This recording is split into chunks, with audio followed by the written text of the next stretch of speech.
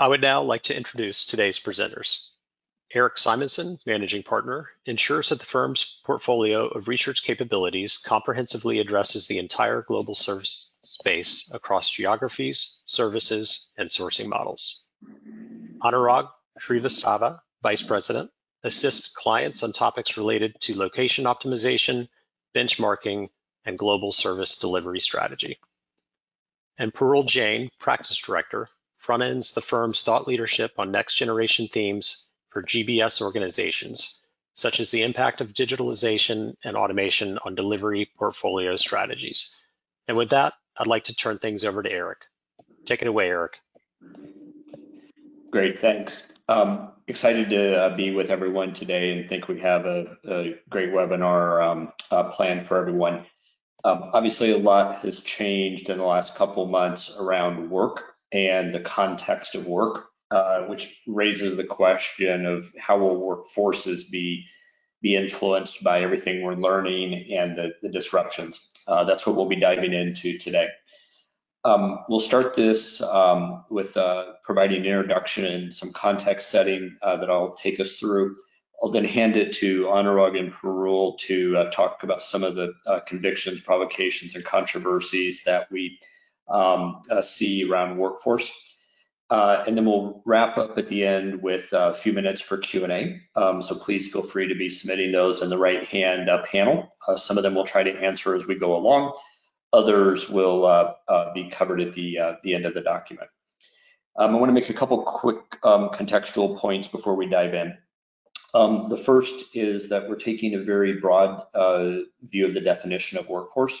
It's not just the uh, having the right number of people with the right skills. Um, it's into how work occurs, how that's configured, um, the sourcing models, internal, external. So it's a very integrated and holistic view of what is work. Um, the second thing is we've realized that we are going to be talking about work a lot. And we got some coaching that we need to actually have some fun. So we've um, uh, cleverly integrated uh, three polls into today's webinar. And the first one, we're going to try to have a lot of fun. So if we could go to the poll. All right, so our first poll um, is, uh, just to get everybody warmed up, is which of the following best represents your ideal office for work? Would you prefer to work in the Office US version, Dunder Mifflin, the Office UK version, Office Space, um, famous for the, the, red stapler, or uh, Friends in Central Perk, uh, the virtual work location for some of that crew.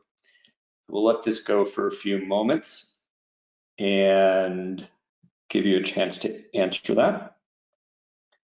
For those of you who aren't familiar with Office Space, which is probably the, the least known of these, would uh, encourage you to get a chance to watch it at, at some point. Um, it's a fun one um, and a very uh, cynical take on work. All right.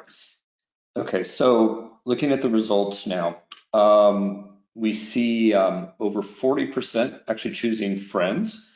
Um, interestingly, a bit more choosing um, uh, office space than I would have guessed. I would have guessed that uh, the office US or UK would have broken it.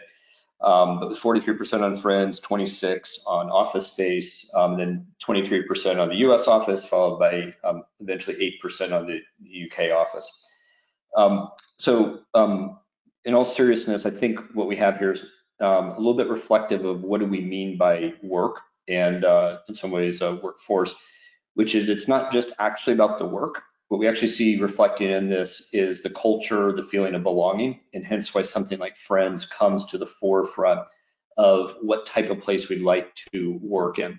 Um, it's uh, as much about the, sorry, although the transactions that we complete are important, the um, context around that and the, the learning and the sharing is uh, much more important. Next slide, please. Over the past um, uh, um, six weeks or so, we've been tracking how the industry is emerging through a series of stages. Um, we very quickly went through stage one, uh, which was basically getting a lot of the knowledge work into a work from home model. Um, followed shortly after that by stage two of ensuring that uh, that model is being productive, um, that uh, if uh, people are going to be um, were people going to be uh, fully available? Were there going to be challenges with medical absenteeism, et cetera? By and large, the industry made it through these stages uh, very well. Um, I'd say that not because there weren't problems, there clearly were challenges and um, problems, but the um, within just a few weeks, um, many organizations on a global basis had moved a tremendous amount of work into these into these uh, this new model. And I think um, everybody that I've spoken to is impressed of what was actually able to happen. Um, so uh, we've largely transitioned uh, through these and um, they're now into uh, looking forward.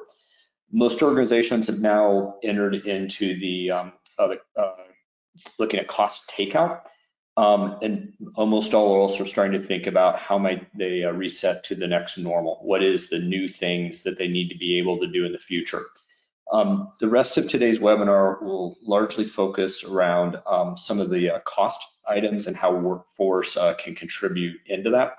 We'll also be hinting at some things that are about the new normal as well. On slide six, um, when you're thinking about um, cost takeout, um, there are several different levers um, that uh, that come to mind. And at the highest level, there's three. The first is um, how are you sourcing the work? And this is in effect who is doing the work, whether that be um, outsourced um, internally, whether that be onshore, offshore, et cetera. It's the kind of the who of getting work done. Um, the two major areas that people tend to think about are how do you place the work um, and what parts of the location, how do you maybe split processes, and how that how that maps into the geographies. Uh, the second is potential third party. Um, how do you optimize what's going on with the third parties and their um, their contribution to the work? The second major lever is around the talent portfolio optimization. And whereas the first was around who, this is around configuring the who and how work gets done. Um, so this could be uh, things like the skills um, re specifically required, the mix of that, the pyramids, the ratios of that, can also be like configuring how work from home contributes to this. Um, we'll be covering work from home more um, uh, throughout the, the webinar, and it's you know, clearly an area where there's will be a lot of questions. Um, but, the, but these are not the only ways uh, to configure the uh, talent portfolio. The third lever is the process optimization. So if the first two were kind of about the who and how to configure the who, this is about the what. What are the who's doing um, and how are they getting that done? Two two uh, kind of sub levers within this. One, the automation and process um, uh, portions of it. Uh, this is pretty well known, but takes on a lot of extra meaning here as uh, openness to change is increased. We also start to become more concerned with productivity and uh, how to ensure that the model continues to work. You get the quality, you get the throughput, um, and things don't become wobbly or uh, diminished effectiveness as um, as things progress. As we then look uh, forward and uh, turn to slide seven, um, the way we would summarize how all this needs to fit together in some ways the more the most strategic view of what you're really looking to solve for is the overall workforce strategy. And uh, we believe it's important to take a holistic view um, and to consider all of these things um, even if the problem that you're thinking about addressing is is in one area you need to think about the implications in other areas uh, this, this framework has three major parts. Uh, the first uh, is the talent strategy, and this is in effect how do you plan the population? So what sort of supply and demand do you need? Um, what's the sourcing model? Um, how is that located physically?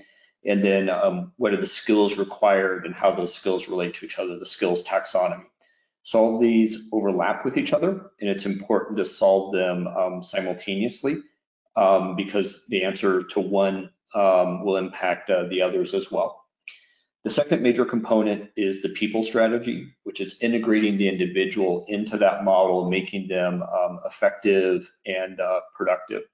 Uh, this goes all the way from making sure you get the right people and enough of them to uh, bringing them on board, making them effective, developing them, integrated, to uh, retaining them with a good employee value proposition, ongoing career and development. Both of these two components are reasonably traditional views of workforce. The third, and what we think is um, um, often left out historically, but um, um, uh, certainly should not be going forward, is how do you actually optimize the work itself? This could be through technology, could be through the use of analytics, uh, or things like uh, productivity and continuous improvement. What we mean by optimizing the work is how can you potentially change the work to enable solving the challenges in the other areas to become easier. Let me give an example. Uh, you may use technology to potentially de-skill some of the work so that it's easier to recruit and um, operate against a certain type of work. Uh, this could be uh, something that maybe provides automatic suggestions of what could be happening, uh, may help on uh, checking for errors, etc. And you, in some ways, take some of the art out of the work and make it um, easier for a larger population to do. Um, similarly, maybe in analytics, you could use analytics to more um, uh, actively distribute work to the right people who have the right expertise, um, the volumes, et cetera, uh, so that uh, you're getting the right quality and throughput of things as it's occurring. Uh, this could be across sourcing models, um, a whole bunch of ways you could smartly deal with how you optimize the work to be done and how well it's being done.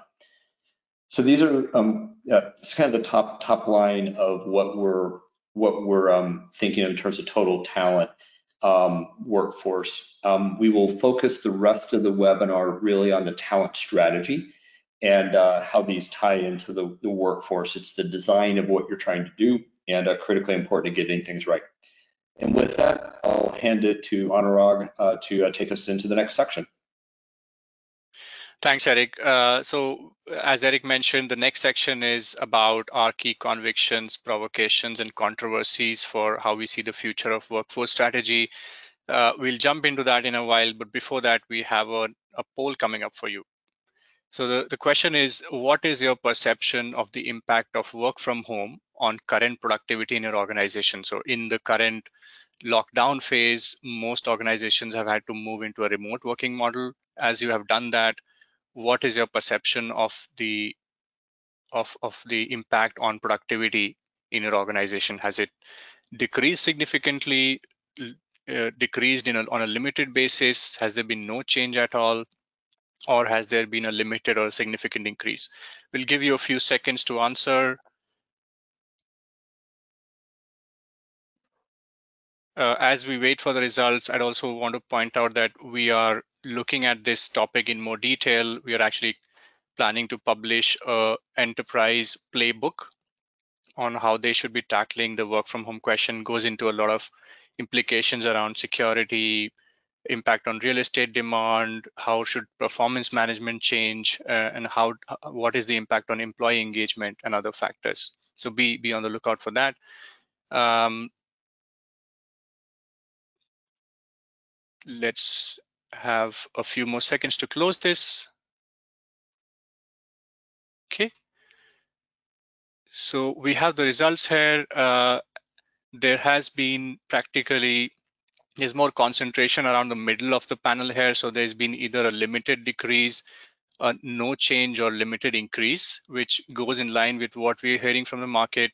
In most places, um, from our conversations with GBS and service providers, uh, this is you know consistent with that. We've also seen some examples where there's been lower absenteeism and lesser HR related grievances. So so interesting result, but not entirely un, uh, unexpected. Thank you. Okay.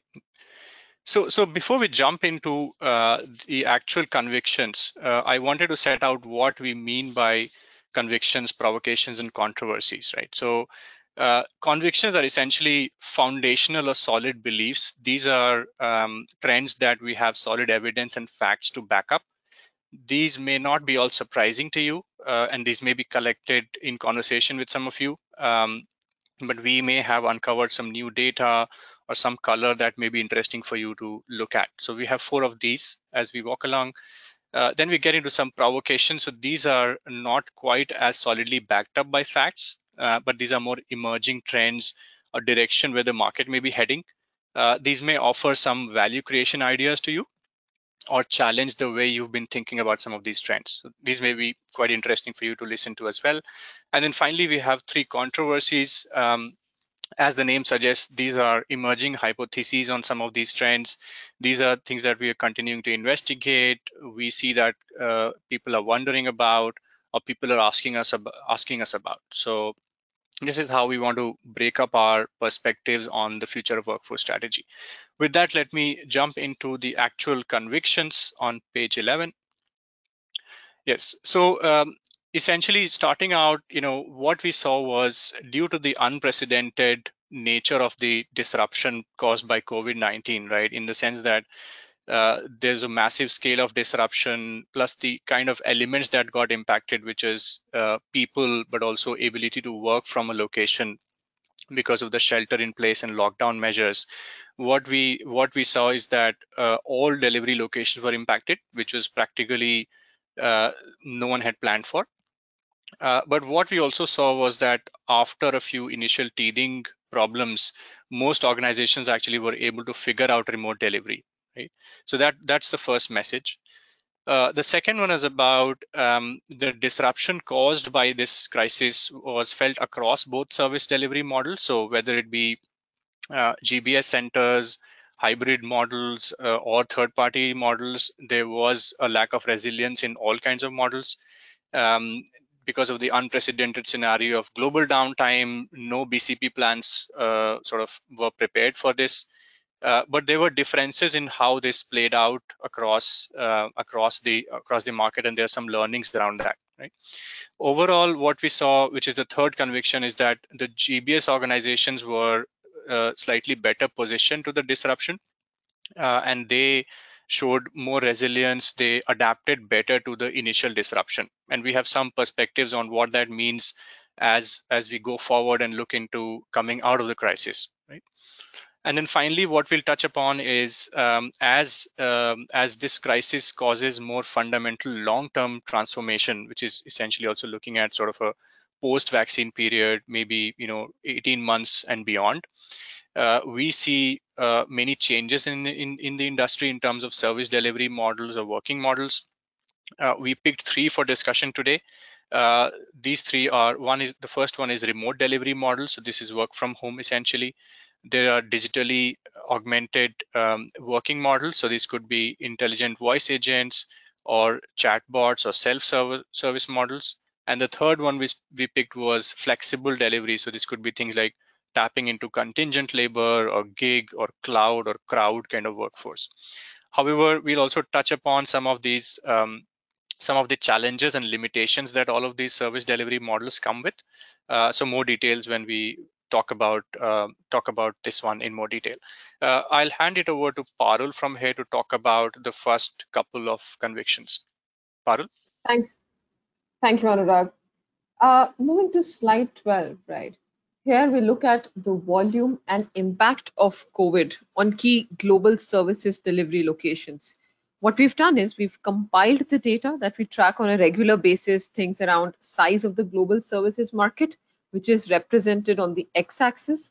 On the y-axis, we have the acceleration rate, which is the average growth in new COVID cases per week. And we've taken a trailing three-week average to kind of portray a more stable picture. Essentially, what we see here are some clusters and a couple of locations showing independent rates.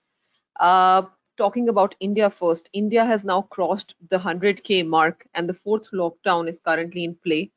There is uncertainty around when companies will be fully able to resume their in-office operations, though large percentage of the workforce is in provisional work from home mode. With the acceleration slowing down in Philippines, the location has also been able to improve their productivity or, or kind of uh, remote working percentage that, that they're in the location. Clusters we see on the left, they represent locations which are smaller in size uh, when it comes to global services delivery and are at varying degrees of recovery. So the cluster on top left, which mainly comprises of locations in Latin America, Caribbean, and Africa, uh, the rate of infection here is kind of increased and with relatively lower proportion of market in the work from home mode. Now, Brazil has now surpassed uh, Britain, Spain, Italy in the past 72 hours on the list of total infections and is only behind US and Russia. What is concerning is that for these cluster of location, for this cluster, right, uh, where the growth rate is accelerating, there is lesser readiness to deal with the disruption from an infrastructure standpoint. So, so you see these locations marked with a yellow dot here. They do not have the most favorable environment, last mile connectivity or, or tech readiness issues. Uh, so, so basically global service delivery practitioners who kind of have a skew towards these location might need to think of more, more consciously think about their BCP or, or backup options. Now, the bottom cluster has a mix of nearshore European locations, Central Eastern European locations, and a few Asian ones like Singapore and Malaysia. This cluster has favorable infrastructure and is now on the path to kind of resume operations. Uh, we'd advise practitioners who can use this chart to identify areas where growth is, where growth in cases is expected to increase, where wherein locations are kind of more equipped to deal with the scenario. So, so essentially, locations in Central Eastern Europe might normalize sooner. If you have delivery footprint in a higher footprint in Latin America, you might need to stay cautious. Uh, we're also tracking these locations regularly, and you can refer uh, to our COVID-19 resource center on our website. Uh, moving on, and if you were to kind of deep dive on what were the key enablers, which is on page 13, uh, you know, that drove the readiness of these locations, here's how the picture turns out. For most developed locations, such as the US, UK, uh, infrastructure readiness coupled with the nature of work that these locations were serving, more analytical, amenable to remote delivery, all of these factors helped in quicker transition.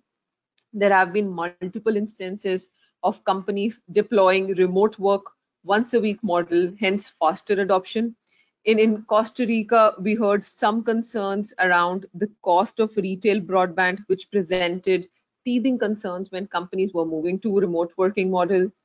Uh, the Central Eastern European majors, Czech and Polish locations, uh, they showed one of the uh, high levels of home working from home flexibility, with about 70 to 80% of the companies switching to remote delivery. Uh, for India and Philippines, uh, the government gradually announced global services as an essential business and companies comply to the regulations, while in India, we currently see about 80 to 90% of the workforce active in the remote model.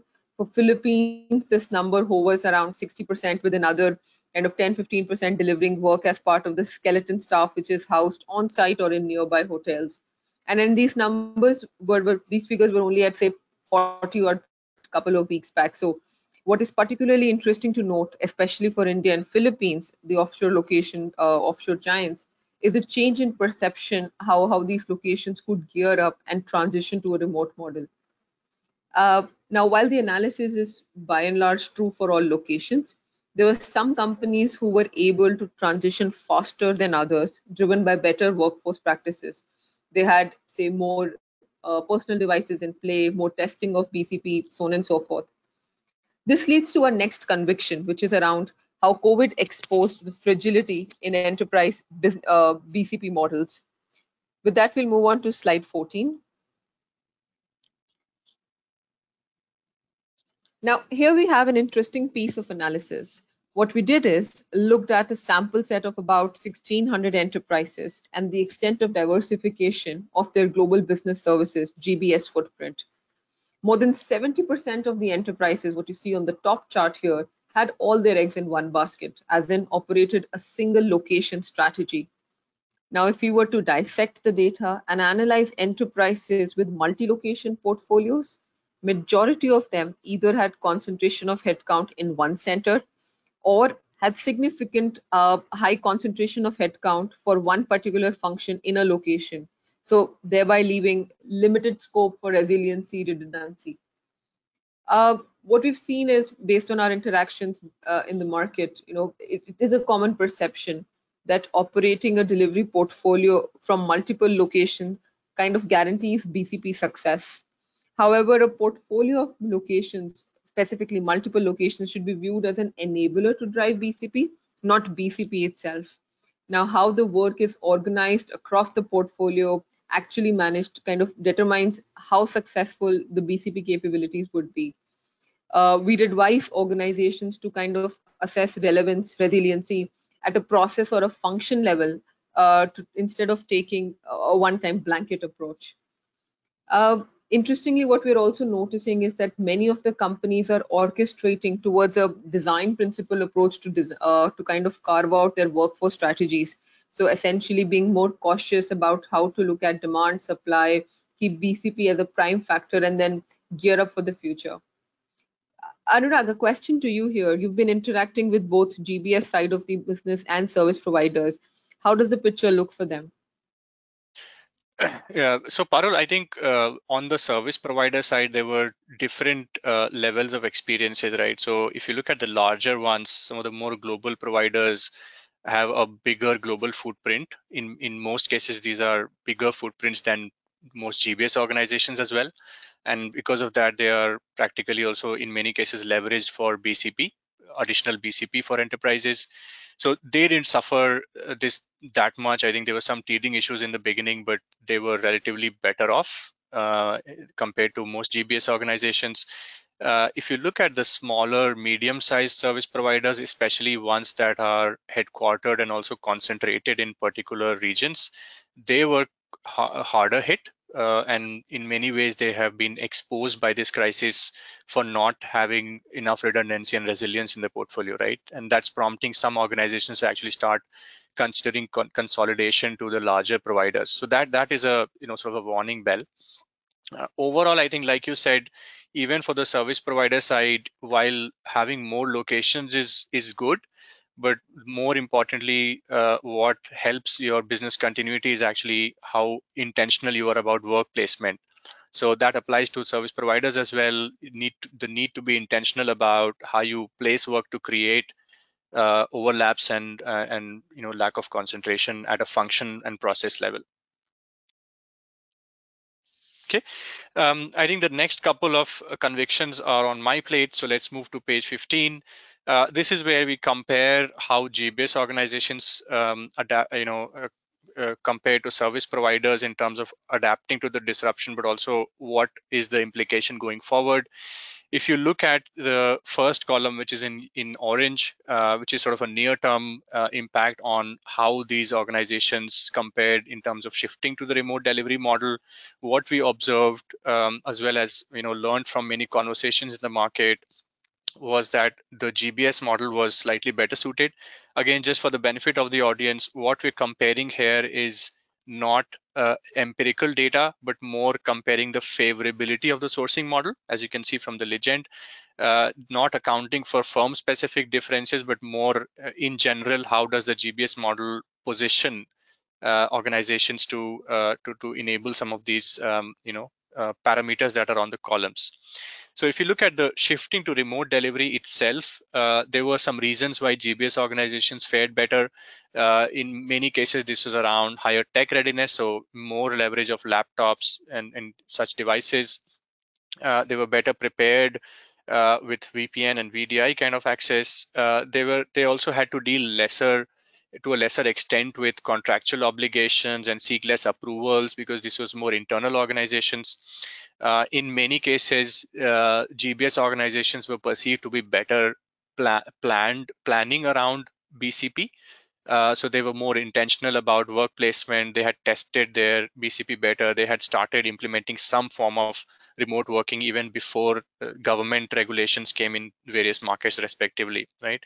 And also finally, I think what we also see is um, they had made more sustained investments for a longer term in developing human capital and in, in a remote collaborative environment. So they had more global collaboration training, more cross training uh, in place, right? Um, at the same time, uh, you know, while this is true for the overall model, we saw that there are differences by process uh, in a previous page. So there was different experiences based on what is the process mix by market.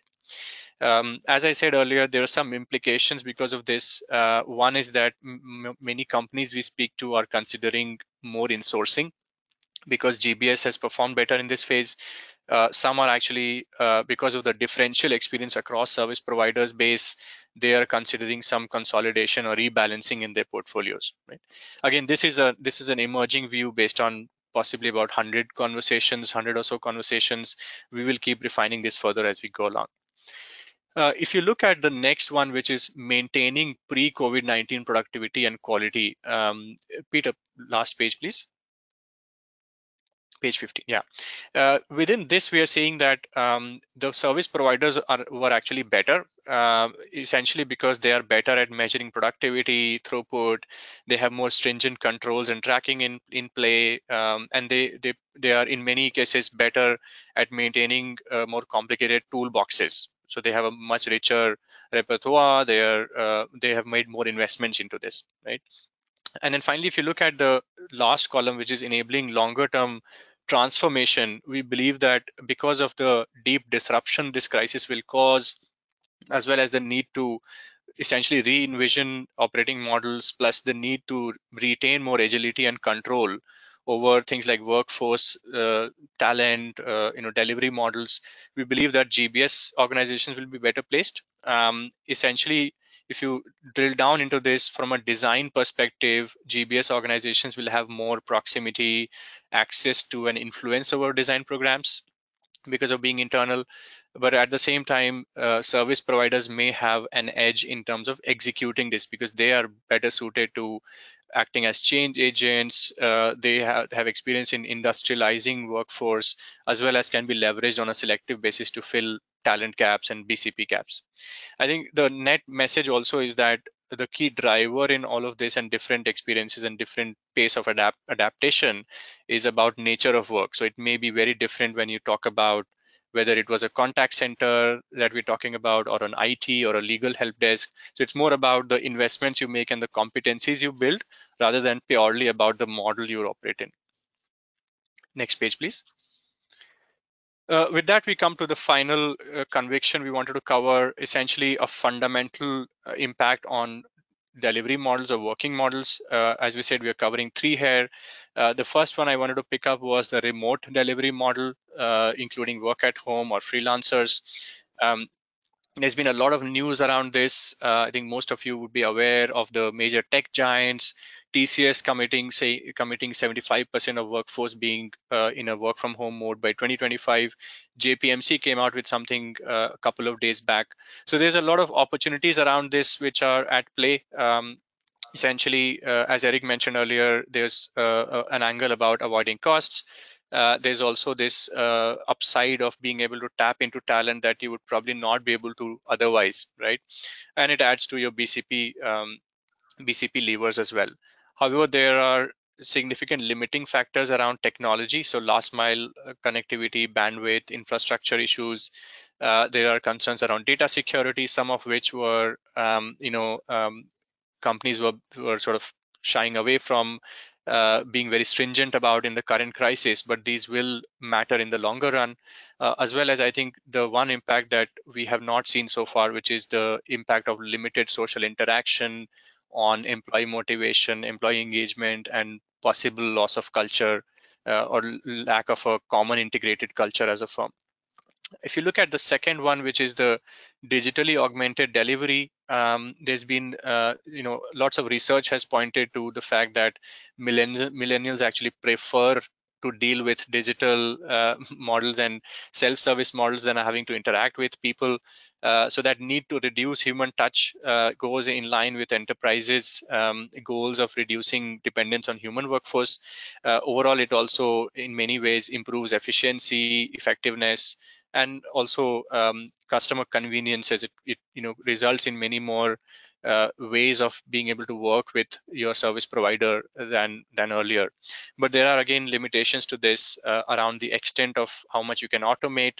There's some investment involved in um, in, in in sort of creating these tools as well as possible loss of process knowledge once you've automated or you know digit, digit, digitalized something. And finally on the flexible staffing model the contingent side uh, we see that there's been big moves around this already. So uh, this is not uh, as big a uh, transformational kind of a lever, uh, but as talent becomes more and more talent needs become more niche and possibly more congestion in some areas of the market, we see contingent becoming quite important. Um, it offers flexibility, it, it, offers it offers enhanced BCP, but there are some concerns around data security, knowledge leakage, but also you know impact on employee engagement and culture. overall, we believe that uh, based on some surveys we ran, ran uh, up to 75% of enterprises are actually putting significant effort into you know creating flexibility across these models uh, I think a couple of things that are driving these overall. One, very importantly, um, you know, increasing comfort with digital offerings at the customer end. In many cases, actually, customers asking for and desiring more more uh, digital. Uh, plus, um, you know, as an in the in the talent market as well, uh, companies that are leveraging some of these uh, taking away monotonous work through automation or offering remote working models are actually perceived as better employers. So these are also pushing adoption of these alternative working models. Um, Eric, question to you. You have uh, possibly interacted with a lot of enterprises around this work from home topic and it is top of mind for most people. There's a lot of uncertainty in the market around extent and implications of implementing this model. How do you see this uh, model playing out? Yeah, so I'll, I'll keep it I'll keep it short because I think it's um, it's a fairly complex topic. The, the, things that come to mind are first, work from home um, is actually really a, a, spectrum of potential models, all the way from you know almost entirely or entirely work from home to primarily to occasionally to you know on an exception basis. And how you align that to the nature of the work and the roles, I think, will be what people are um, will be uh, sorting through over the coming coming uh, quarters. Um, the second thing I'd say that um, we don't really list here, but is a, a major point of consideration, is uh, the development of employees and how how that um, uh, maybe need, may need to be different in um, those working from home. That also um, influences where you may position things on the spectrum uh, that I just described. I think those are the the two of the things that are um, uh, the more strategic concerns and um, the design of how to actually take the concept and turn it into something that's real. Thanks, Eric. Uh, with that, I'll pass it over to Parul to run through the rest of the provocations. Thanks, Anurag. Uh, starting with the first provocation here, uh, coming out of COVID, right, we believe there is going to be a growing appetite for, for a frantic digital transformation, automation, and modernization, if you will. Uh, improving operational efficiency, believe is you know key at the moment. Uh, due to the entire epidemic, availability of workforce across businesses is severely constrained. So, automation here seems more like a viable answer to deal with this situation. Now, uh, the need to save costs will be part of the emphasis but organizations are going to realize that you know hey there have been opportunities around automation we've already been thinking about. Now is the time now we do realize how valuable they can be in an, in a if such a situation were to kind of repeat god forbid. Now we're seeing multiple examples of organizations their gbs arms stepping up and using the pause productively so examples of companies partnering with the ecosystem to, to accelerate their time to market, develop best of breed solutions. A uh, few examples in the BFSI vertical, in the retail vertical, uh, and tech specifically, where, where they're leveraging IoT, data analytics, uh, artificial intelligence based solutions to kind of gain real time, granular, actionable insights into the health of their business processes, critical assets, infrastructure, and customer facing operations. Uh, for the, what we're essentially saying is that the approach that enterprises take, it shouldn't shouldn't be myopic, as in focused on just getting past the existing crisis. It should rather be broad, serving as a stepping stone to kind of continuously test the resilience and uh, kind of e evaluating the potential of emerging technologies to, to, to have quick wins in this changing business landscape. Now, now moving on to the second provocation here, uh, page 20. Uh, what we see here is as, as enterprise have ensured operational continuity and solved for tactical, uh, tactical teething issues, we believe going forward, there will be a strong need to recalibrate their future growth plans. How demand looks like, uh, what do we need to plan for, how should we go about it, especially considering the factors that have disrupted the market in an unprecedented fashion. Now, stabilizing the demand plan is a critical part of, of a strong recovery and kind of a future success. Uh, based on our interactions with market leaders, we understand there are six essential factors at play which kind of impact demand projections. There are a few traditional levers such as uh, desired shoring mix, sourcing mix, which include aspects around how close do we want to stay to the customers, what does the likely outsourced versus in-house mix look like, uh, and an important lever which has been underplayed in, in most enterprises planning is BCP. Now, uh, so, so thinking about how do I create a flexible work uh, workforce strategy to build resiliency? How can I look at remote delivery as a BCP lever, and so on and so forth. Uh, the next parameter is, is skills. Uh, so things around, uh, you know, what kind of skill mix do I require? Are there any gap, uh, gaps for, say, the emerging skills which I need to be cautious of? Do I need to plan for them? Uh, the next piece, which we've already touched upon, is the impact of technology and how it influences demand. So, so things around uh, impact of self-serve, as Anurag talked about, impact of agile, DevSecOps, etc. Now, these were all sort of drivers of demand or considerations for companies as they forecasted demand. There is, uh, with COVID scenario, there's a need to kind of uh, reforecasting. So uh, essentially, the parameters highlighted in orange box, they, they kind of become more important, more heightened, right? Uh, essentially, uh, we believe the end goal is to be proactive rather than reactive it has become critical as ever to be more agile, quickly respond to the changing demands, etc. Uh, Eric, question to you. Now, with, with a lot of things playing in, like say, agile DevSecOps, uh, productivity, new talent models, which we've talked about, this raises a lot of debates. What are the new debates that you anticipate uh, and, and watch out for? Yes, I think there. I think there's already a has been a debate in the past around, you know, does agile have to mean everybody in the same room or can you do it um, distributed?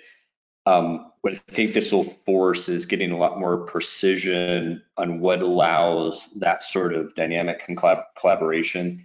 You know, is it sort of like the culture and knowing each other? Is it the um, way in which you communicate and kind of being near instant availability or instant? Is it the way people get developed and be more um, cross-functional. And so, what are really the things that allow uh, some of these models to work? And then, if you were to try to overcome those things in a virtual way, what is you know what what are the options? Um, I think uh, people have sort of relied on truisms, um, but it will cause people to peel several more layers of the onion to uh, get smart about what are you really trying to capture to, to generate those sort of results. Fair enough. Thanks, Eric. Uh, over to Anurag for, for covering the next set of provocations.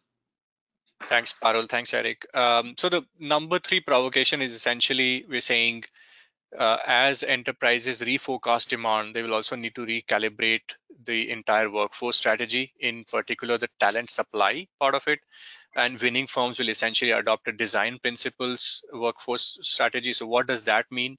Uh, the key key levers of a design principles led approach is essentially that this is intentional and reiterative right? So if you look at the the the chart right so number one essentially start with defining your distinct demand segments. These could be business units functions geographies. Then you essentially forecast the demand in view of various business objectives and scenarios. So these could be things like how does uh, different how do different paces of automation or technology adoption change your demand? Uh, plus also you know in, you build in your existing or known gaps into that. So you sort of forecast your demand for a few years out. Second you look at various supply scenarios and design constructs. So you play around with how you mix your shoring portfolio sourcing mix service providers and locations. And you sort of uh, then forecast your talent supply both from an internal meaning what you will grow from your own base current base but also what you may be able to tap into from the market uh, and then you build in some scenarios around market growth and how can you implement upskilling or training programs. Uh, number three you basically then start to compare these supply profiles with each other not just on the ability to fulfill demand but also things around cost of operations cost of actually getting into that uh, supply profile or the transformation to that supply profile things around ease of management and how much safety does it offer against risks. So not just the financial but also non-financial impact. Finally, uh, on number four, then you start to prioritize the best fit supply profile. So nail down which which uh, you know construct will actually suit you best, and then that also feeds back into what are the key interventions you need to make in terms of whether you need to uh, ramp up on upskilling, you need to change your training programs, uh, or retention programs? Uh, do you need to access new sources of talent or do you need to tap into new locations or rationalize your portfolio of locations or service providers? And then finally on, on five, you start to then uh, establish workforce strategy design per the winning profile. So you look at shoring mix and locations. These are on the left. You look at sourcing models, you look at sources of talent. For each of these uh, components and each of the sub components, you start to then lay down blueprint on what is the number of these models you want to tap into what is the size and share of each in your portfolio what is the role they are playing in the portfolio. So are they the champion for um, are they a champion or a challenger for a particular function? Are they default for a function versus are they going to be used selectively to drive innovation? So you lay down roles and then also uh, be more intentional about how you place work in these models to create more redundancy and other and address other objectives. Now, the the thing around reiterative is that you don't stop here. You let this feed into uh, into a reiteration of your demand and then recalibration of your supply portfolio. So this is sort of a continuous process that we believe that best of breed firms repeat practically every year on some basis, but a full overhaul maybe once in three, five years. Next page, please. Um, finally, on the provocation number four, uh, we believe that uh, while there will be uh, changes in the forces that drive location strategy, some of these changes will also drive what roles they are able to play in, in your portfolios. Uh, so let's get to the next page. Uh, we have laid down some factors that drive location strategy on the left uh, and, e and the impact of each of these factors on uh, different uh, shores. So we're talking about offshore, nearshore, onshore separately. So as you can see, rising cost pressures will push more uh, activity offshore, whereas more automation will actually mean um, that some of the voluminous transactional work gets automated from offshore. Uh, and so on. So BCP resilience will drive some more work offshore as companies diversify their footprints uh, work from home models will actually be implemented offshore, but they will not drive growth in offshore, but they will be actually uh, used to sweeten business case for retaining work onshore. So that's why onshore is a green for uh, higher adoption of flexible working models. Uh, we also see that there'll be some return of the protectionist sentiments as unemployment becomes bigger in the key source markets. So that will lead to some growth being concentrated in onshore markets. Overall, if you if you were to look at a summary outlook from a short-term perspective, we believe that there will be slowdown in demand for talent or demand for uh, new centers uh, across geographies uh, essentially because there is uh, a budget cliff and a you know uh, overall lower demand coming from enterprises. There's a reduction in discretionary spends and there's a lot of focus on process re-engineering to remove um, you know work from a longer term outlook we believe that uh, a combination of strong cost pressures and evolving and maturing talent will bring growth back to offshore. We believe that nearshore locations are stand to gain a fair bit, given that there is a focus on BCP. Uh, you know, they also fulfill a need for access to diverse and complex skills.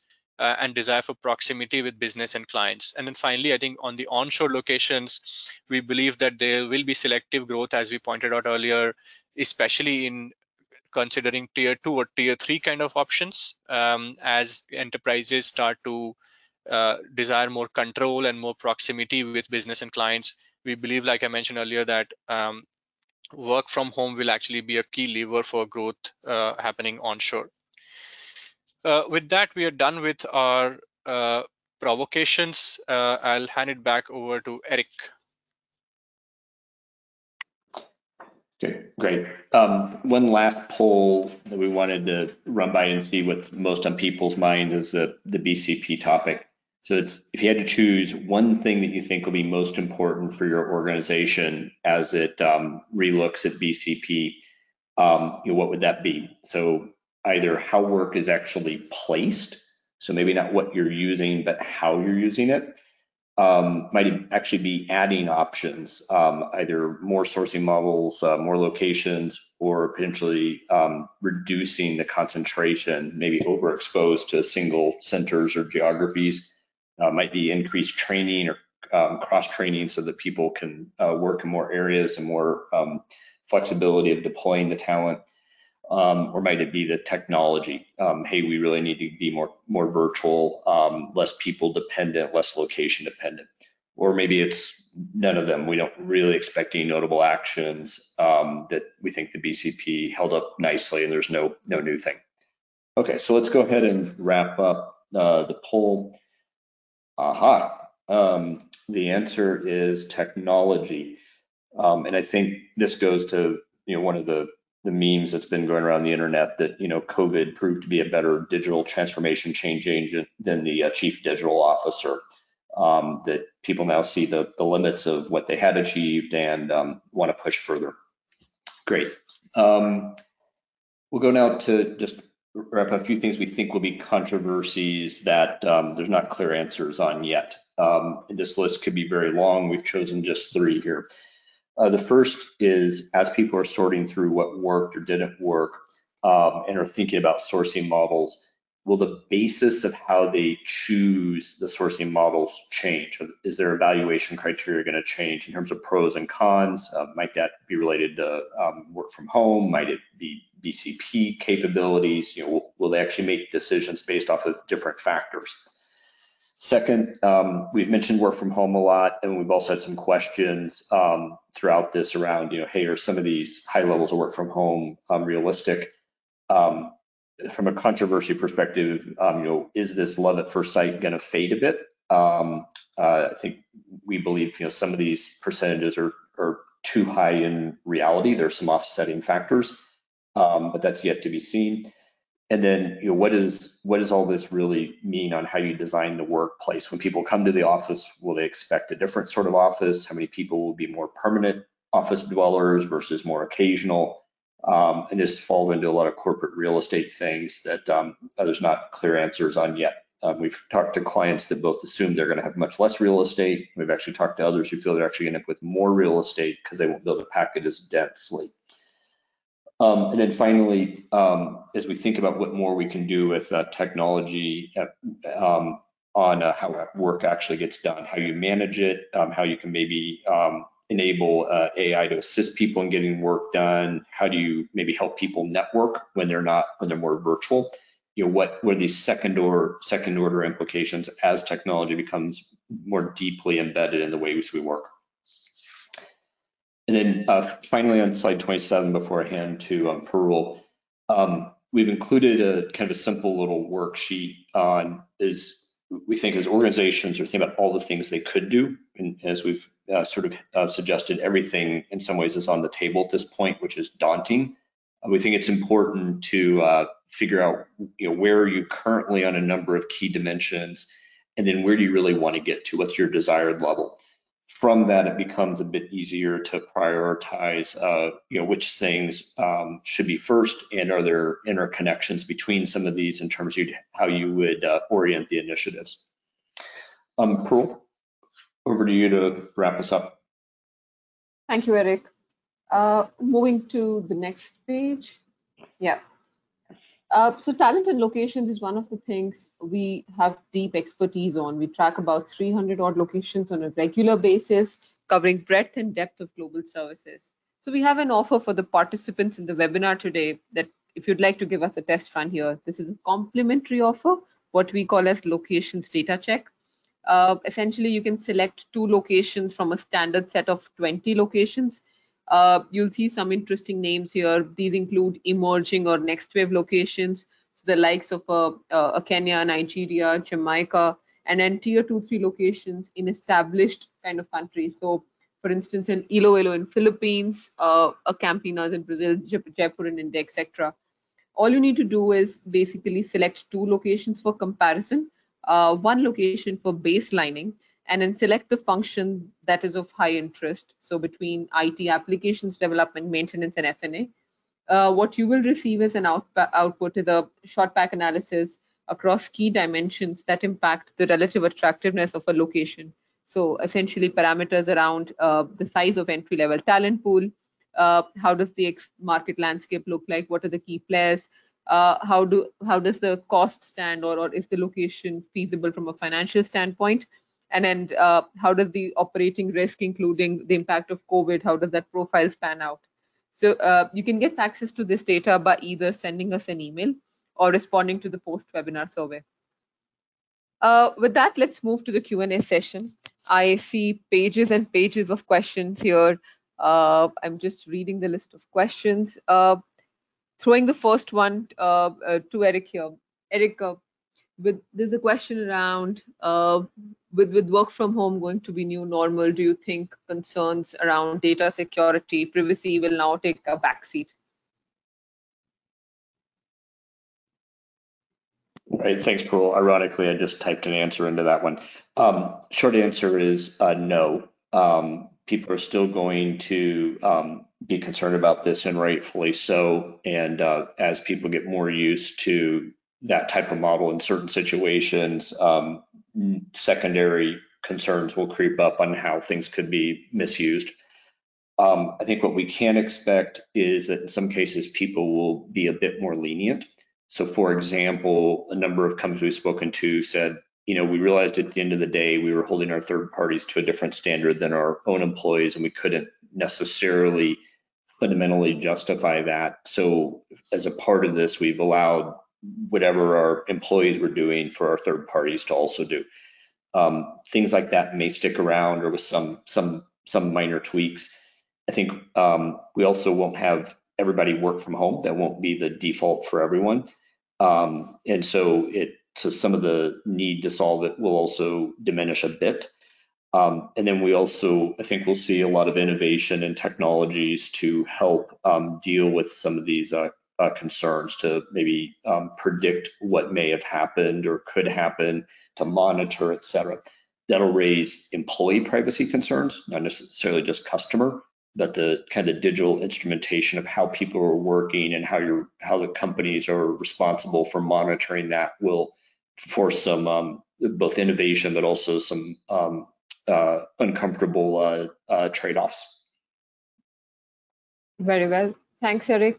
Uh, the next question we have is around uh, Anurag. I will and pass it on to you for this one. So do you have any observations for firms with a COE model in a specific location? Do you think there may be rethinking of how the COE model is looked at at an industry level? Um, so I think um, in a, in a lot of ways, this this crisis has um, exposed a lot of these flaws in workforce strategy, right? So not that these flaws didn't exist before, it's just that because of the global and unprecedented black swan kind of an event, uh, a lot of these uh, lack of redundancies and and you know fallacies and false beliefs have been thrown out in the open um, uh, we do expect a lot of change in and transformation in locations portfolios, largely because um, because people, companies will try to become more safe and you know be better at managing BCP. Uh, but also there are other factors at play which were in many ways active even before this crisis, right? So uh, increasing talent congestion in specific skills. Um, while there are, uh, you know, because of the crisis, there are some markets that will see probably some reduced congestion. At the same time, you know, when you look at your location strategy, companies will still need to orchestrate their hubs and spokes and centers of excellence uh, with a very well defined and intentional roles. So we don't believe that the the framework of having a center of excellence model in built into the location strategy will change but we believe that what you will end up calling a coe in the future may actually change there may be cases where you are actually um, you know you have smaller sized centers that are focusing on on, more niche skills uh, you may have a scenario where what we're calling office pods which are you know small sized maybe less than 10 ft kind of centers that are remoted sorry located remotely from your main office where you are concentrating some kind of skills in a particular region. Uh, so these may be called centers of excellence uh, or it may be actually divided more by um, the kind of business unit or a, or a geo or uh, just a you know region you're serving. So net net, uh, we do believe that there will be lots of change and transformation in locations, but fundamentally the COE model may not uh, may not cease to exist, although the meaning of that may change. Okay, interesting. Thanks, Anurag. Uh, with that, I'm cognizant of the time and we'll answer the remaining questions offline. Uh, moving to slide 31. Uh, yeah, so essentially we, we do encourage all of you to take a moment and visit our COVID-19 resource center on everestgrp.com slash COVID-19, or you can navigate via our homepage of our website. Uh, we have lots of information based on interviews, podcast, briefings, etc., and many other resources which may help you on the journey. Uh, with that, a big thanks to all of you who've joined us today, and I'll hand it over to Peter. Thank you to Parul, Anurag, and Eric, and thank you everyone for attending today's webinar. Again, you will receive a follow-up email within one to two business days with a link to download the presentation slides, along with accessing the on-demand playback. On behalf of Everest Group and our presenters, thank you for joining us today and have a great rest of your day.